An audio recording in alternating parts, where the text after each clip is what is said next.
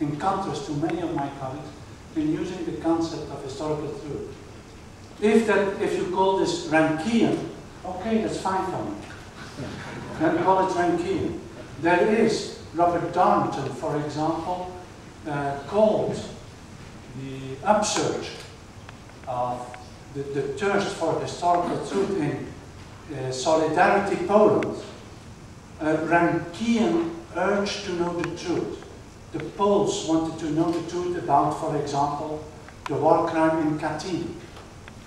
And uh, in, in, the era of solidarity, people uh, began to ask questions about it, uh, to express questions about Katyn uh, in public, not only in secrecy, but in public. Darnton, Robert Darnton, who saw this happening, called it a Rankian, a Rankian thirst for truth. I believe that we have to tentatively search for the truth and we, that we should not give up this mission. Now, I, I understand that the word truth has some absolutist ring in it.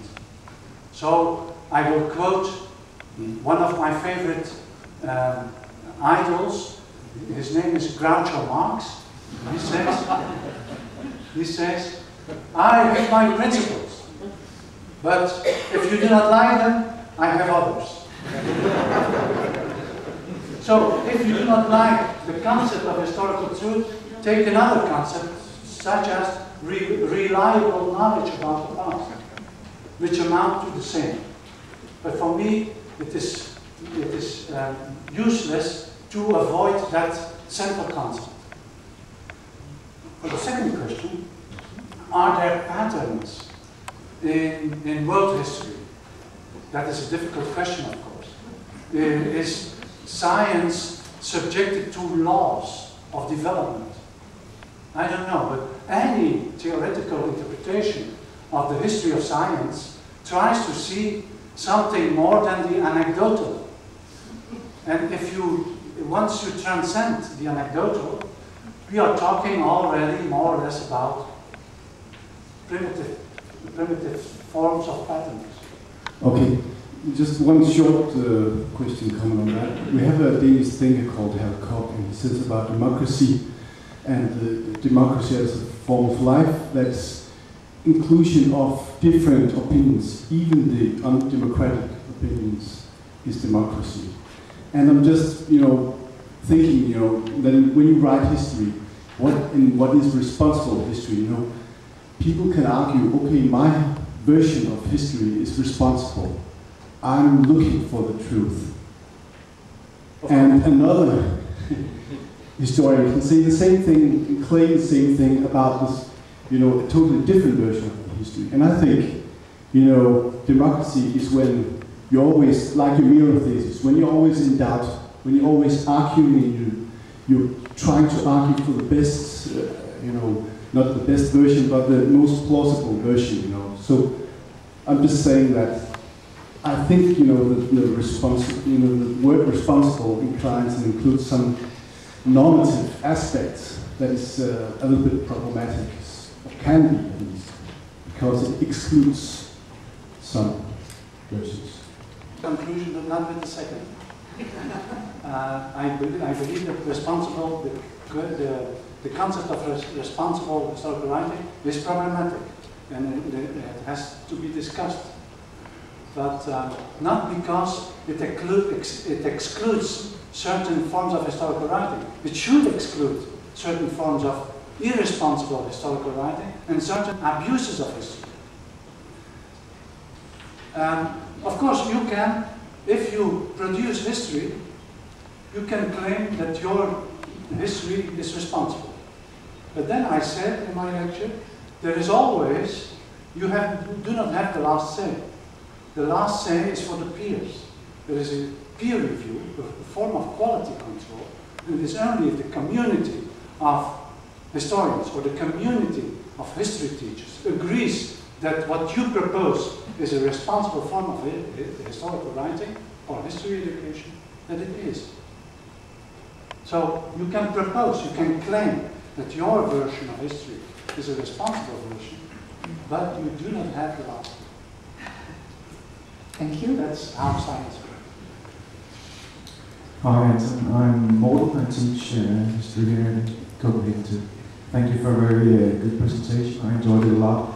I actually thought that it could have been nice if I knew you in 2001 when I did my thesis on the Chilean Truth and Reconciliation Commission called the Rettig Commission. Because there are a lot of uh, useful information in your presentation that I could have used back then.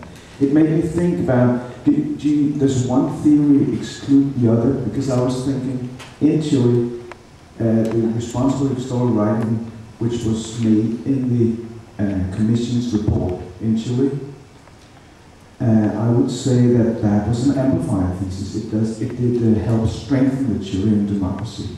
At the same time, I would argue that if we look at Spain, sorry to my Spanish colleagues here at the conference, but if we look at Spain, the lack of responsible historical writing in their transition, the lack of of, of truth in Spain has uh, has helped shape Spanish democracy in a, in a bad way, I would say. So my question is, does one theory exclude the other? I would say that, that in Chile we have the amplifier thesis, and in Spain we would have the what's it called, uh, midwife the, uh, theory. I, um, at first sight, this is a, thank you for your question. Um, I never thought about this in this way, but I think that, of course, in a, given that democracy usually develops in a national framework, that the, uh, uh, uh, um, the judgments about which of the four theses is applicable will differ. In Chile, yes, you had the, the Rettig Commission, um, immediately after uh, the, the, withdrawal of Pinochet. Um, and uh, it, had, it had a huge impact on Chilean society, I, I agree, under President Aylwin. Despite the fact that the only historian who was part of that uh, Comisión de Verdad y Reconciliación, I believe it was called, that despite the fact that the only historian who was a member of that commission, Gonzalo Vial, was a former minister of education under Pinochet. That He did not play a crucial role in that commission. And in the, in the report, of course, but in, in that commission. The, the central figure, to my mind, was José Zalaquett, the human rights. They had a tremendous impact and you could say, yes, this is the amplifier thesis. It contributed to democracy. It was a history tool, the report of the, the Rettig Commission, uh, or the Commission de Verdad y. It contributed, it strengthened democracy. Spain is a different story, I agree. But uh, you only, to my mind, you only tell half of the story because there has been a pacto de olvido in Spain after Franco's death. Uh, and until uh, around 2000, the year 2000, that first generation of 25 years, there was silence. The, the Spaniards, the Spanish agreed not to talk about the civil war and the, the dictatorship that followed it. That was one generation. But then, very interesting, and I alluded to it in my talk, the next younger generation did not understand that silence. And they started to delve into the past. It was remarkable. Again, it was not the work of historians, because these historians in, in Spain were they, they were not forbidden to work about Franco and about the dictatorship, but it were courageous journalists who started opening the anonymous graves in which the Republicans were interred, the Republican victims of the Civil War and early Francoism. But then everything changed. In the year 2000, there was a book by a friend of mine, Enrique Silva, called Las Fosas de Franco, the graves, Franco's graves. And in 2004, after the attempts at Atocha, the, uh, suddenly the government changed, and the children of the, the Republican victims of the Civil War came to power. And they facilitated a new legal framework to investigate the past. This is called, I believe, the Ley de Memoria Histórica, the, the law of historical memory, which is, is a legal framework which serves to investigate uh, the Franco times. So there the experience is mixed. There was no or little influence in the, for the first generation after Franco's death, but then around 2000, with the younger generation asking questions, there was a strengthening effect on democracy. I'm Luis uh, from Spain. I'm a history teacher, so uh, I just uh, need, uh, uh, need to talk about this, uh, this topic. And I, I would like to agree, I would like to add that I completely agree with Antoon. I think that the, the problem in Spain is not simple because there was an eruption between the elite during the Franquism and the next generation. There was uh, like a kind of treaty, like a kind of part of the, the consensus, uh, which is called in, in Spain. And I think that uh, we have uh, some problems, obviously, in Spain. We have to um, improve our system in Spain, our democracy. But uh, I think that some uh, Republicans from the Republican system in Spain will be proud about our system today. We just uh, need more time, the younger generation will do it. Just simple like this. Because uh, we have some problems, uh, to recuperate um, some uh, law about our memory.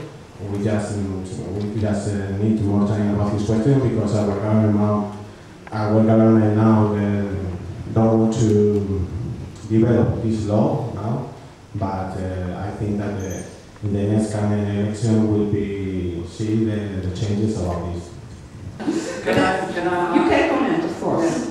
Brazil. Brazil has, has had a dictatorship between 1964 and 1985. In 1985, a, uh, a small report, Nunca Mais, uh, was published. It was a tremendous success, a bestseller. And then we had nothing until the year 2012. Although in, in relative obscurity, historians in Rio de Janeiro, Sao Paulo, Natal, uh, Fortaleza, they started investigating that period of repression.